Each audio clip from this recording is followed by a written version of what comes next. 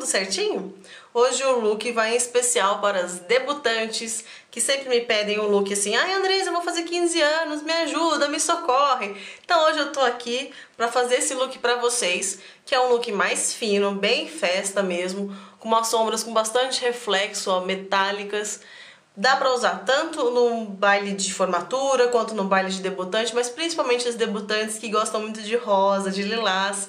Então eu optei por um lábio rosa, mais claro, e um olho mais em roxo, meio rosado. Eu achei que ficou coisa fina, gente. E eu espero de verdade que vocês gostem e que façam comigo, tá?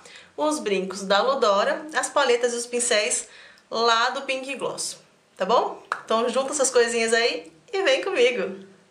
Então vamos começar. Eu vou começar primeiro, eu vou começar primeiro, né, gente? Com o lápis Jumbo da NYX Purple. Ó, ele é um roxo com reflexo azulado. Ele é super bonito, até para você usar assim para delinear o olho de vez em quando, para sair. Aí eu uso ele só como delineador, fica muito legal. Mas como é para fazer um degradê de rosa e roxo, eu vou usar ele como primer hoje, tá? Apesar de, quando eu preparei a pele, que eu passei a base, o corretivo e o pó, eu já passei até na pálpebra para uniformizar mesmo o tom da pálpebra, porque a gente, a gente passa... Tem gente que tem a, a pálpebra mais, mais marronzinha, a minha é mais marronzinha. Aí na hora de pegar algumas cores da sombra, não fica tão bom. Então se a gente passa a base, fica tudo mais uniforme e na hora de preparar a maquiagem do olho fica mais bonito. Bem mais bonito. Ó, passei um pouquinho e espalhei. E vou passar aqui embaixo bem de leve. E vou dar uma espalhadinha assim também. Aí. Ah, deixa eu dar o zoom, depois você fica brigando comigo. Aí, ó, deu pra ver que eu já esfumei mais ou menos o roxinho. Aí hoje eu vou usar uma paleta nova, que é uma paleta de 120C. Olha que legal. Ela é legal para quem gosta de cores mais neutras para o dia a dia. Esse lado, ó, mesmo tendo verde, tendo um pouco alaranjado, ó, ele é um pouco mais fácil de ser usado até no dia a dia. E esse lado é mais coloridinho. E o tipo de sombra que predomina aqui são as metálicas. Metálicas e algumas com um pouquinho de shimmer. Opacas são quase nada mesmo, são pouquíssimas opacas. Mas eu vou fazer uma resenha dela para ficar bem mais fácil para vocês conhecerem essa paleta depois, tá? Então vamos lá. Eu escolhi aqui esse roxinho, principalmente porque os debutantes gostam desse tom assim. Então eu vou usar o roxinho aqui, o segundo da fileira. E vou preencher a pálpebra quase que toda. Eu vou deixar só um vãozinho aqui no começo e vou preenchendo aqui até um pouquinho acima do côncavo, até lá no fim. Ó. Só mais um pouquinho. Já deu um efeito super legal e já fixou bem por conta do lápis jumbo está por baixo, tá? Aí eu vou pegar uma outra sombra da outra metade, que são aquelas cores mais fechadas, assim, um pouco mais neutras. E eu vou pegar essa aqui de baixo, que ela é um roxo, gente, berinjela, sabe? Bem escurão mesmo. Aí eu vou pegar com o mesmo pincelzinho, que é do kit branco e rosa, que vende lá no Pink Gloss. Essa paleta também é do Pink Gloss, tá? E vou passar aqui no canto, fazendo uma pontinha assim no cantinho. Se você tiver aquele olho mais arredondadinho, esfuma arredondado, não tem problema. Agora, se você gosta desse olho mais puxado, você faz com esse cantinho, assim, meio de gatinho, que eu adoro. Ó. Só espalhei e tentei mesclar um pouquinho com a sombra que já tava aqui.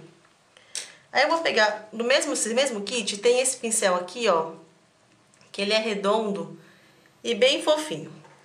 Aí na outra metade, tem esse último aqui, ó, que é um roxo, um pouco mais escuro do que esse primeiro aqui. Então, vou pegar só um pouquinho dele assim, ó. Só um pouquinho. E vou passar aqui em cima. Pra meio que esfumar. Dando uma... Fechando, dando uma selada na maquiagem. Aí, eu vou pegar um pincel fofinho, maior, ó, igual esse aqui. E vou pegar a segunda sombra aqui, ó, que é um pérola, mas ele não tem brilho. É um dos poucos opacos dessa paleta.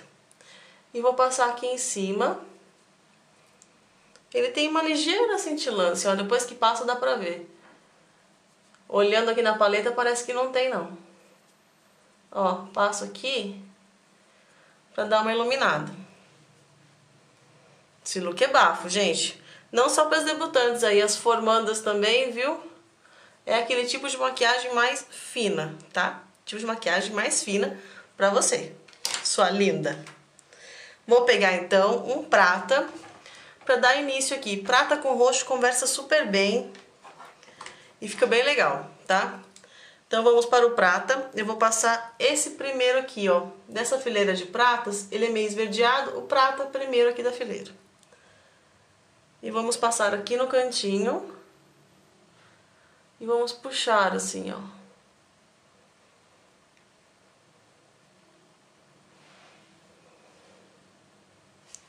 Deu pra ver? Ó, passa aqui e puxa assim.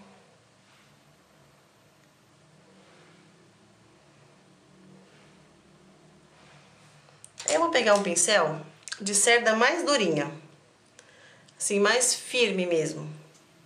E vou lá na outra paleta de novo e vou pegar um azul que tem aqui, ó, do lado dos roxos tem uma fileira de azul. Vou pegar esse segundo. E aí, vou passar ele aqui embaixo até lá no final. E aqui no final eu vou passar um pouquinho daquele berinjela. Só pra dar esse contraste todo de cores aí, ó. E eu tô achando bonito, vocês estão gostando? Eu tô. Aí, gente, eu vou pegar um delineador. Eu vou usar um delineador que eu sou super apaixonada, que é a caneta delineadora do Boticário, que faz parte da minha vida já, sabe? Vou passar ela, só que não tem necessidade extrema de você passar delineador, tá? Eu particularmente gosto porque eu acho que dá uma fechada no look, assim, é como se desse um acabamento. Porém, se você tiver um olho muito pequenininho e passar um delineado um pouquinho mais grosso, ele já vai deixar a sua pálpebra assim, vai sumir a sua sombra. Então, você passa o delineador se sua pálpebra for um pouquinho maior. Se a pálpebra for pequena, deixa para passar bastante máscara e valorizar seus cílios, tá bom? Então, eu vou passar o delineador aqui, bem pouquinho e bem fininho. Peguei um espelhinho de mão aqui para facilitar. Ó, vou passar aqui, só para dar um acabamento. Mas assim, discreto, tá? Não é aquele delineado de retrô, não. Ó, só para dar um acabamento bem tranquilo mesmo. Aí eu vou pegar um lápis preto. Meu lápis preto que eu tô apaixonada nos últimos tempos mesmo, assim, é esse da Milani, que vende lá na Beauty Joint. Ele chama Brilliance e ele é o Black. Ele é super preto, tá? E eu vou passar ele aqui no cantinho lateral. E aí, eu vou passar só mais um pouquinho aqui em cima Pra deixar ele um pouquinho mais, mais pretinho esse delineado. Não é de extrema necessidade, mas acho que vai ficar bom. E, cadê meu apontador agora? Aqui. E eu vou dar só uma pontadinha nele, pra deixar a ponta bem fininha. E com a ponta dele bem fininha, eu vou fazer aquele estilo Sandy, que um monte de gente gosta, que é puxar pra cá.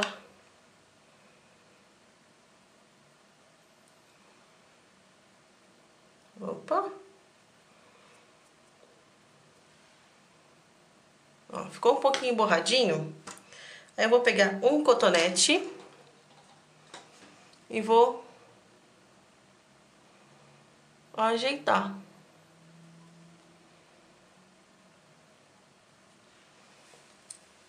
Aê! Meu olhinho tá um pouquinho vermelho já.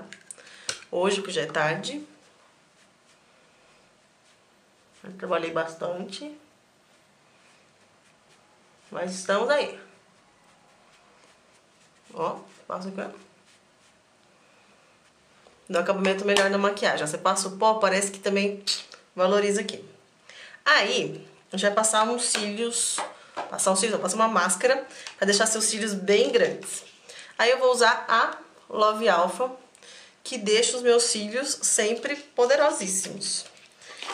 Usar uma camada do gel, uma camada das fibras para deixar ainda maiores e volto com o gel para poder fechar e ficar tudo bem lindão.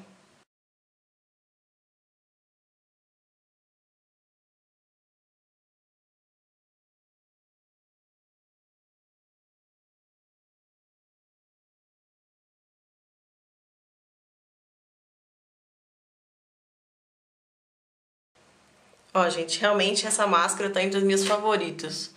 Olha o tamanho dos cílios. É show de bola. Show de bola mesmo. Aí eu vou pegar um blush. Eu vou usar um que chama Love, da NYX. Olha, é um mosaico. Ele fica em tom meio coral e deixa assim uma cara de rica que é um poder, meu Nossa, meu Deus, sabe? Ó. Bem coral. Bem lindo.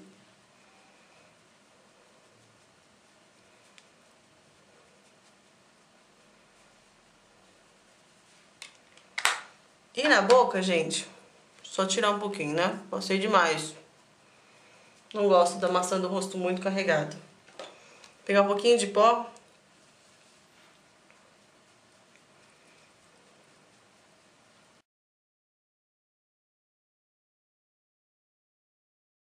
Melhorou, né? Melhorou. E na boca, eu quero usar um batom mais... Um nude meio rosado. O que, que eu vou usar então? Eu vou usar um da NYX, que lembra muito Snob, que eu acho que fica super bonito quando a gente usa assim uma sombra roxa, usar um lábio meio rosado, tá? Mas se você não gostar, você pode usar um gloss.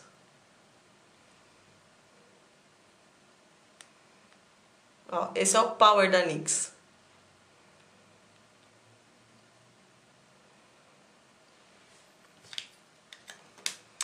Então, gente, é esse o meu look para as debutantes. Eu espero que vocês tenham gostado desse estilo de look, que é um look mais fino, mais festa, mais debutante, formatura, ó, bem trabalhado com sombras que tem reflexo, super chique, tá bom? Então, boas festas aí pra vocês que vão usar esses looks pra debutante, pra formatura, para o que for se divirtam e não se esquece, se inscreve aqui em cima, comenta aqui embaixo, dá um joinha se gostou e até a próxima. Tchau!